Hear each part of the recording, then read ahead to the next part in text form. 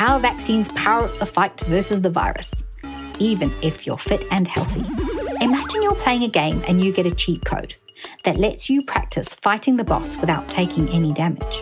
Your immune system gets to try out different strategies until you figure out the right moves to defeat it.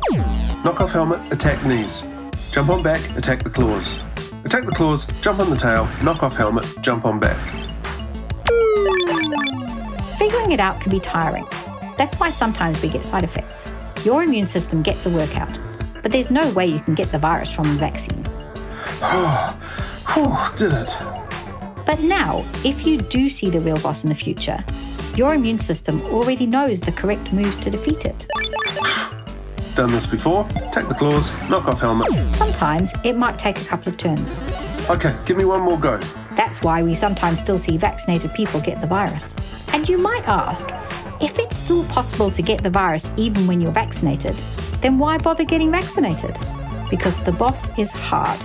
Even the fittest, healthiest people can get really knocked around. But vaccinated people beat it much faster. And one less day with the virus will make all the difference in stopping the spread.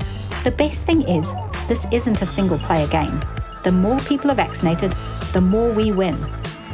When we're vaccinated, we're protecting the people around us too our parents, grandparents, communities, everyone. Power up. Get vaccinated.